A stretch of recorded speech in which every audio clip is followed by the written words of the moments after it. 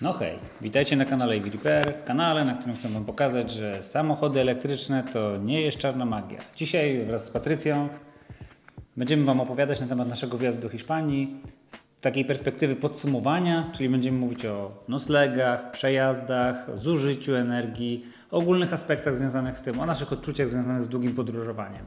Także oglądajcie. No dobrze, to Patrycja, bo ty jakby możesz powiedzieć na ten temat trochę więcej w kontekście odczuć. Także jakbyś podzieliła się z naszymi widzami swoimi takimi doświadczeniami, ogólnymi przemyśleniami związanymi z tym wyjazdem. No dobrze, na, sam, na samą myśl, że mamy jechać 3000 km samochodem elektrycznym, wszyscy e, byli na nie, znaczy ja i dzieci, a dzieci najbardziej, bo mamy za sobą doświadczenia z jazdy zimą do Szczecina, gdzieś tam około 600 km i to była zawsze męczarnia, więc ja byłam przerażona tym, że będziemy jechać 3000 km, ale okazało się, że było bardzo dobrze, nawet lepiej niż, niż te wyjazdy do Szczecina, dużo lepiej. Nie byliśmy zmęczeni. No nie, nie, przesadzajmy, zmęczeni byliśmy. Ale nie, nie w takim stopniu, znaczy ja na przykład nie odczuwam żadnych tam bólów pleców czy nóg i tak dalej od siedzenia a, dużo za kółkiem, mimo że potrafiłam zrobić na przykład w ciągu dnia 500 km, tak? no tak, ale pamiętaj, że też jakby samochód elektryczny wymuszał na nas tą konieczność zatrzymywania tak, się. Tak, i może dlatego właśnie y, ta podróż okazała się być y, mniej męcząca niż przewidywaliśmy. Ale z drugiej strony też, nie wiem, czy ty też chyba to zauważyłeś, że de facto sytuacja zmieniła się dopiero jak przekroczyliśmy granicę z Polską. Jednak w Polsce ten przejazd był trochę trudniejszy. Zdecydowanie. Zmieniła się zdecydowanie w momencie, kiedy y, wjechaliśmy na trzypasmowe autostrady w Niemczech i gęstą sieć y, superchargerów. No tak, tak.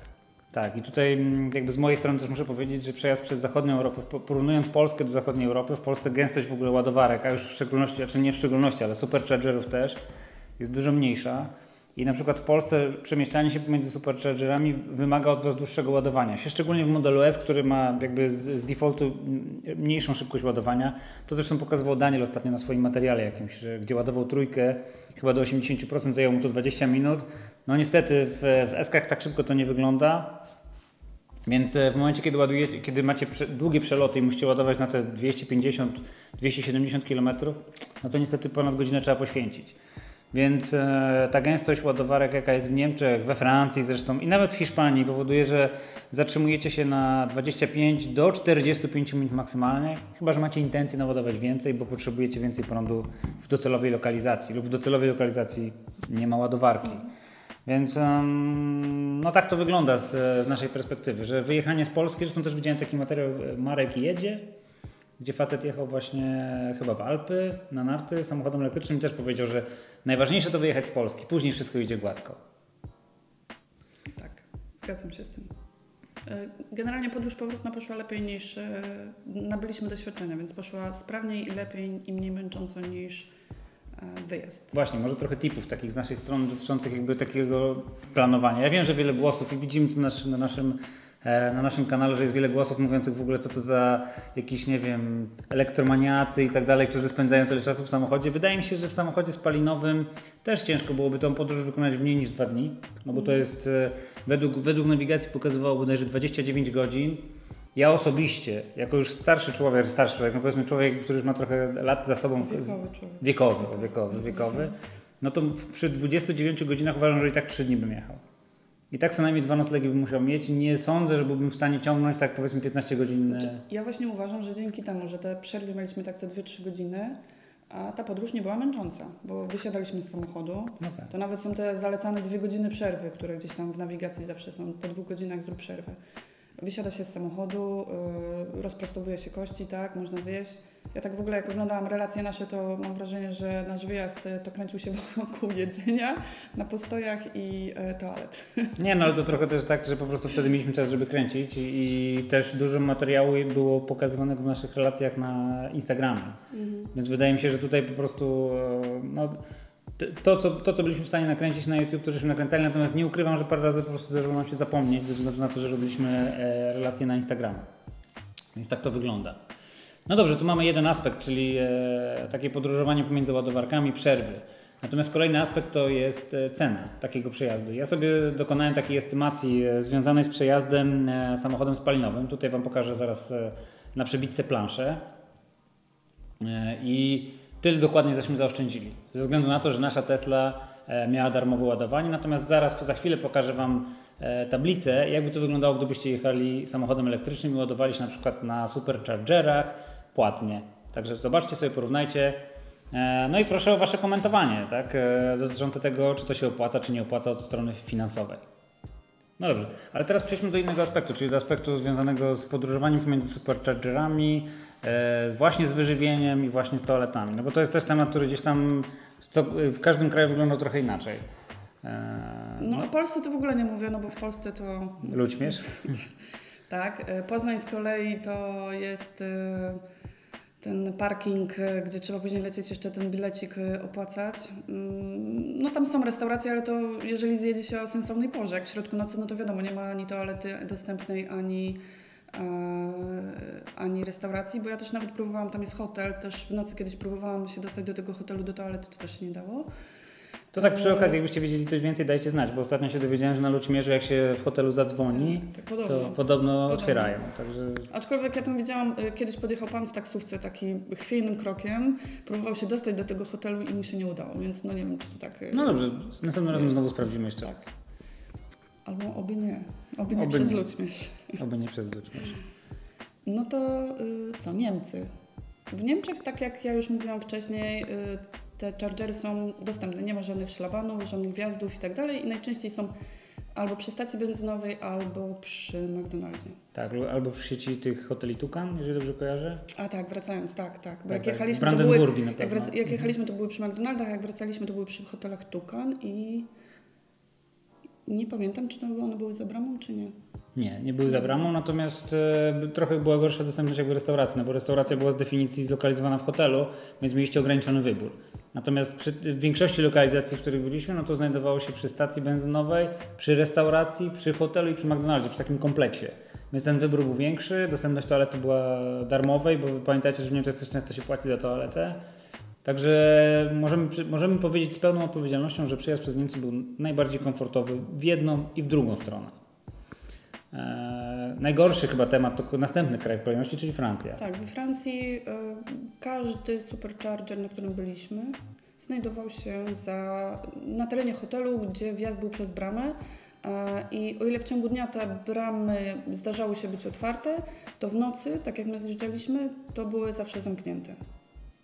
Tak, i nawet doszło do takiego śmiesznego nieporozumienia, gdzie, bo Francuzi zapisują numery telefonu e, co dwie cyfry oddzielone kropkami. I ja byłem przekonany, że to jest kod do bramy i próbowałem wbijać na keypadzie ten, ten kod, natomiast okazało się na koniec, że to jest po prostu numer telefonu. I faktycznie później jadąc po Francji żeśmy zauważyli, że tak po prostu zapisują numery telefonów, no ale na początku e, musiało być to mega zabawne dla kogoś, kto widział to na monitoringu, że ja tam siedzę przy tym keypadzie i próbuję te cyfry wbijać.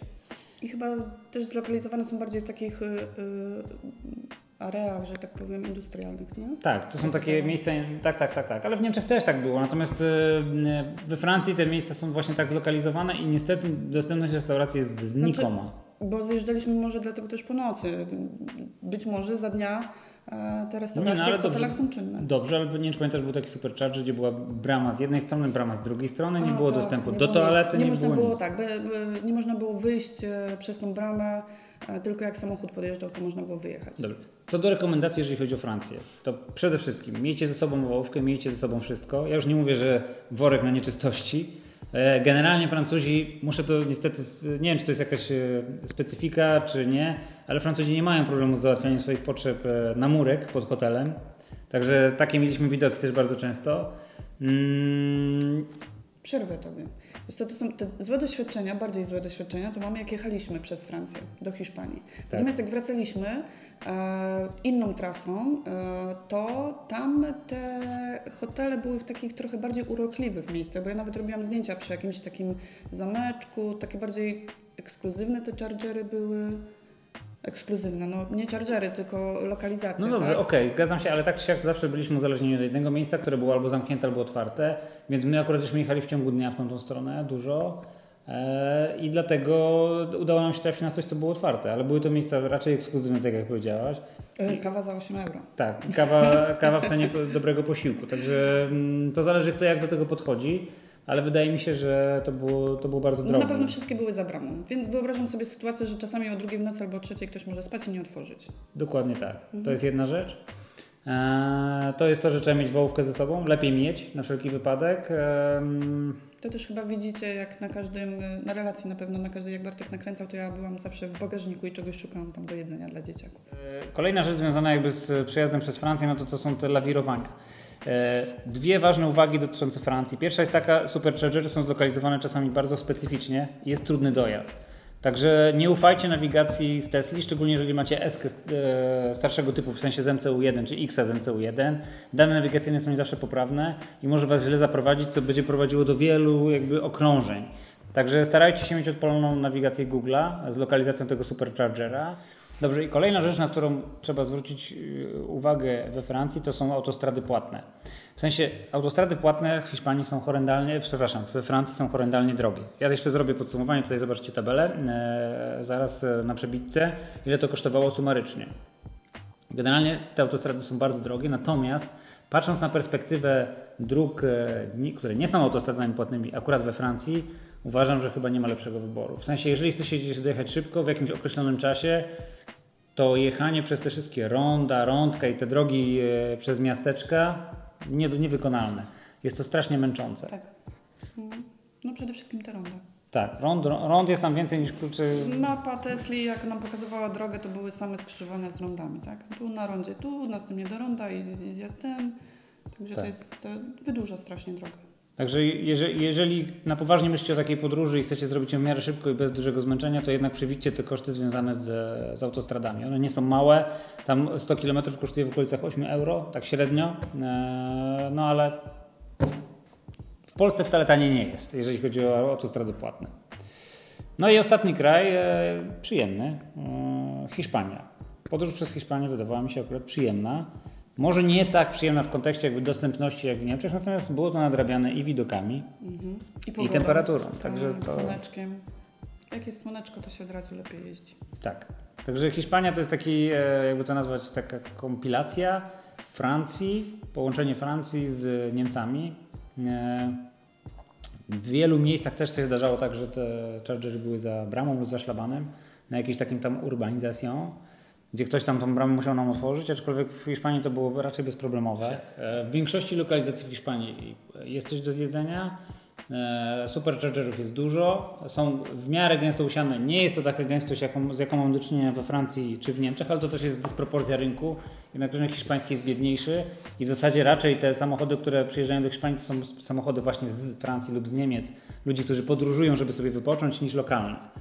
Tak czy siak, i tak jest ich dużo, dużo więcej, nawet lokalnych, niż w Polsce. I w ogóle jeszcze taki, taka ogólna uwaga, jeżeli chodzi o infrastrukturę w Europie Zachodniej, ona jest na naprawdę wysokim poziomie. I tych samochodów elektrycznych widzi się bardzo dużo. Tak, i przede wszystkim y, są też inne ładowarki. Grono ma innych ładowarek, tak? Tak, a Ionity na przykład bardzo dużo widzieliśmy. W Hiszpanii jest bardzo rozwinięta sieć Iberdrola. Ona jest taka bardzo fajna, bo ona jest jakby multiplatformowa, czyli ona, ona jakby z perspektywy firmy Iberdrola, Iberdrola przepraszam, która jest czymś w rodzaju naszego PGE, e, ta, ta, firma zarządza wieloma typami ładowarek, czyli i e, AC i DC, i 7,2 kW, i 22 kW, i, i ładowanie DC, tam 50 kW i 100 kW, także oni mają naprawdę bardzo, bardzo dużą tą sieć. I w zasadzie jakby rejestrując się w Iberdroli i mając Tesla, no to już nic więcej Wam nie potrzeba do szczęścia. Aczkolwiek myśmy na Iberdroli ładowali się raz i to tak naprawdę tylko po to, bo chcieliśmy. Ale ogólnie jest dużo ładowarek w hotelach, są ładowarki, tak? Czy były te, te ładowarki Tesli w hotelach? Destination Charger. E, pod ten hotel, który podjechaliśmy w Barcelonie czy w Madrycie, tam było jakieś nieczynne, co prawda, ale były już przygotowane ładowarki e, pod marketami, gdzie były superchargery Tesli. Oprócz tego stało rząd innych ładowarek. Tak, w każdym miejscu były też e, alternatywne, że tak powiem, e, miejsca, gdzie można się naładować, nie tylko Tesla.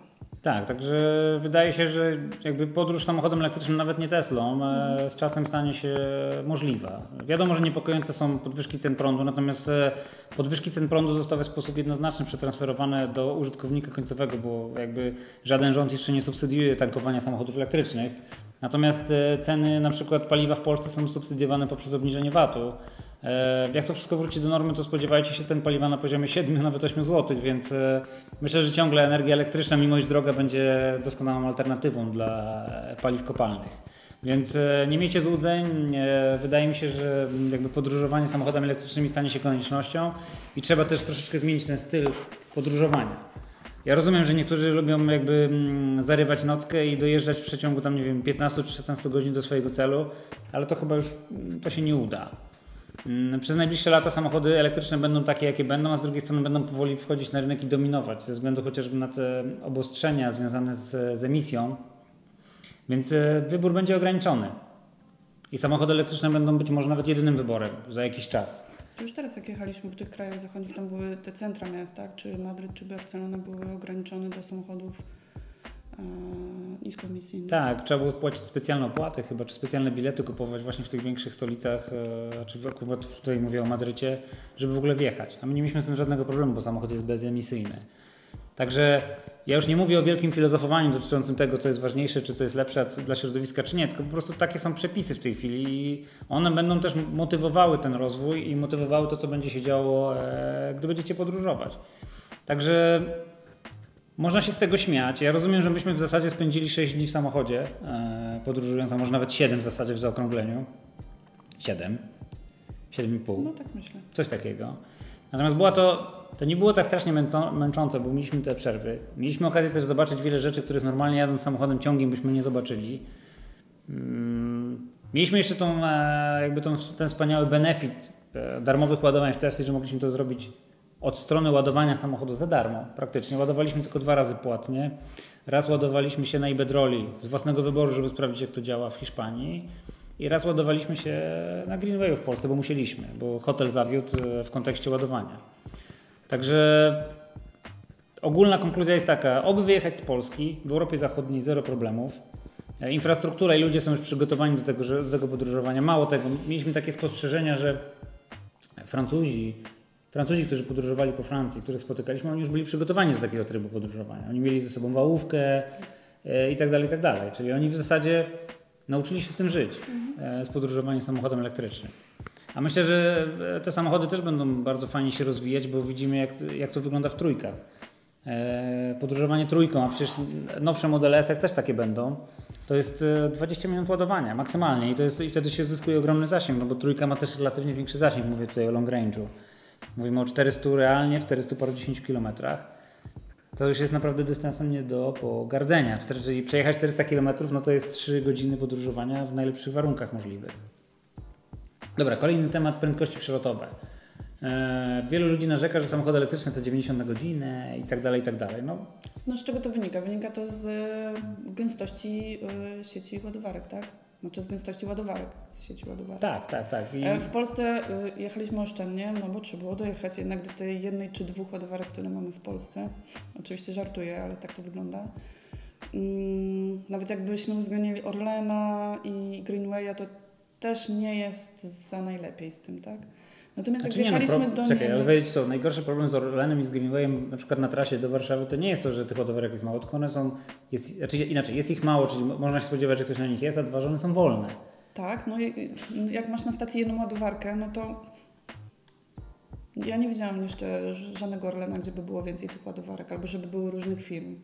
No, Oprócz Ludźmierza, gdzie jest Tesla i Greenway w jednym miejscu, to, to nie rzuciło mi się. Nie, no, jest więcej takich miejsc. My po prostu wszystkich jeszcze nie zdążyliśmy, no, zdążyliśmy odwiedzić. Natomiast jak wjechaliśmy do Niemiec, no to i prędkość się zwiększyła. Tam czasami słyszałam, że jadę za szybko, jak było powyżej 150 e, ale można, no bo te ładowarki są często, więc e, szybko można było. Dobra, to może, żeby nie zanudzać widzów, ja po prostu jeszcze raz. Zobaczcie za chwilę przebitkę z planszą i nasze średnie prędkości przelotowe na kraj.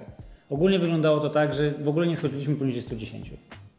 Nie. Czy Hiszpania, czy Francja, czy Niemcy. Nie no, z wyjątkiem rąk w Hiszpanii, to tam tak.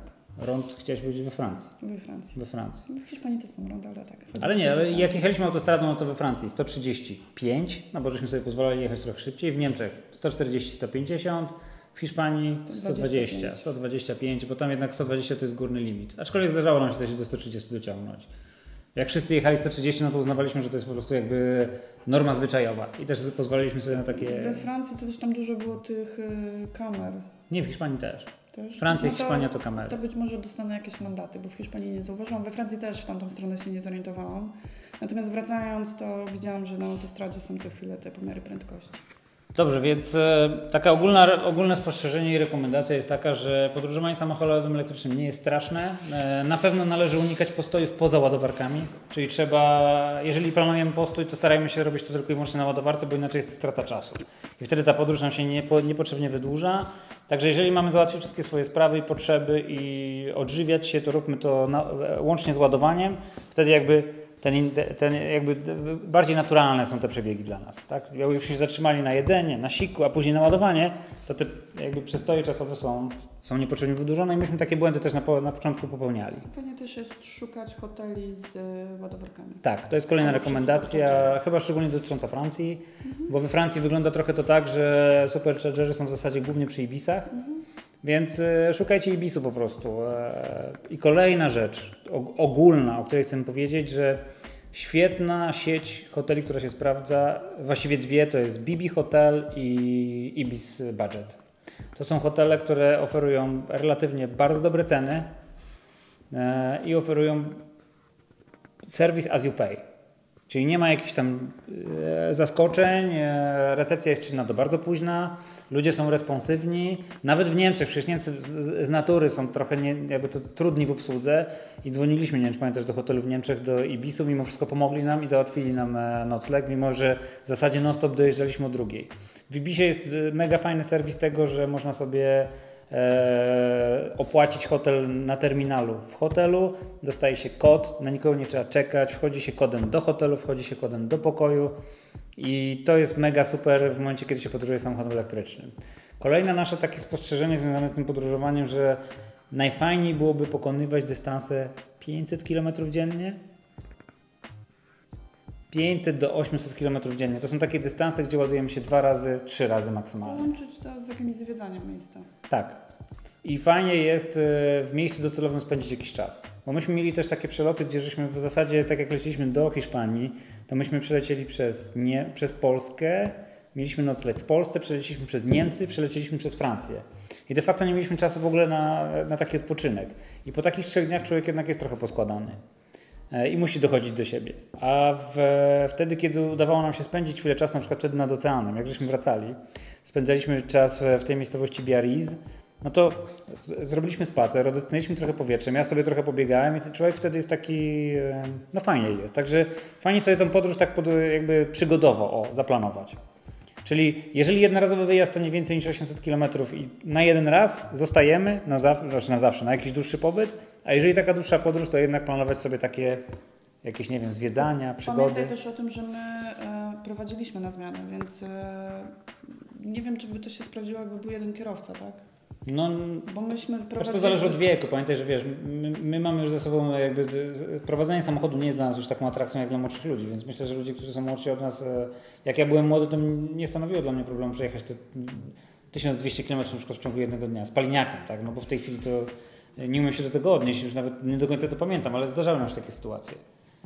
Więc e, ja bym tego tak nie wyrokował. No może, ale tutaj w naszym przypadku sprawdzało się prowadzenie na zmianę, czyli Jeden charger... jedna osoba, ładujemy się, następnie druga osoba. I tak. I powodowało to, Tak, że... można było się zdrzemnąć, tak. coś tam, rozprostować kości. Tak, to, to, absolutnie się z tym zgadzam. Także to jest kolejna uwaga, że na dwóch kierowców jest e, zdecydowanie, zdecydowanie lepiej. Pamiętajcie, żeby mieć zawsze trochę gotówki ze sobą. Niby w Europie Zachodniej wszystko jest takie bezgotówkowe. No tak. ale automaty chociażby na monety są. Tak, automaty, czy, automaty na monety, toaleta na, na monety, także zawsze miejcie jakieś moniaki i jakiś, jakiś papierek ze sobą. To nie muszą być duże kwoty. Chodzi tylko o to, żeby mieć jakieś tam e, awaryjne zabezpieczenie w sytuacji, gdyby coś się wydarzyło. Także bilonik i, i papierek. Z autostrady wszędzie kartą. Tak, z autostrady wszędzie kartą e, i we Francji i w Hiszpanii. E, a, i właśnie, to teraz jeszcze troszeczkę taki temat, troszeczkę wrócimy do autostrad, bo w Hiszpanii autostrady, czy płatne, czy niepłatne, to jest ok. Mhm. I to jest fajne, jest pewna różnica w czasie i tak jak żeśmy patrzyli wiele razy, bo myśmy prawie nigdy nie jechali płatną, to chyba ze dwa razy tylko. Różnice w czasach przejazdu ogólnych, tak, czyli na dystansie na przykład 500 km wynosiły 30 minut. Dlatego myśmy się decydowali w Hiszpanii na drogi niepłatne. Tak jak we Francji ta różnica była taka jak w Polsce, tak? Żebyśmy mieli jechać na przykład do Poznania e, starymi drogami autostradą, to e, ten czas byłby niewspółmierny i jakość drogi byłaby niewspółmierna. I we Francji jest tak samo. Natomiast w Hiszpanii różnica nie jest aż tak duża. I te autostrady państwowe, one są troszeczkę bardziej zaniedbane, natomiast można spokojnie jechać te 110, tam 120 nawet i one są. Mało tego, w wielu miejscach one też wydawały się całkiem spoko, jeżeli chodzi o, o, o nawierzchnię. Dużo było, dużo było remontów, tak? Więc... Tak, no ale to do przeżycia. Tak czy siak e, wtedy jakby te nadwyżki czasu nie były takie gigantyczne i decydowaliśmy się wtedy na autostrady, autostrady niepłatne. No i tyle. Uważamy, że jeżeli chodzi o samą podróż, uważamy, że było warto. Jeszcze raz dziękujemy Danielowi i Damaris za motywację, także spotkanie u nas w warsztacie, no i później ta ich relacja spowodowała, że wreszcie żeśmy się zdobyli na coś, na co, z czym żeśmy się już e, zbierali z myślami bardzo długo, z taką podróżą. Także jeszcze raz dzięki. No i mamy kolejne plany, także chcemy dzieciaki zabrać do. A może nie powiem, może nie zostawmy to na, jako tajemnicę i będzie kolejna, kolejna przygoda wyjazdowa. Także dziękujemy Wam za oglądanie. Lajkujcie, subskrybujcie i oglądajcie.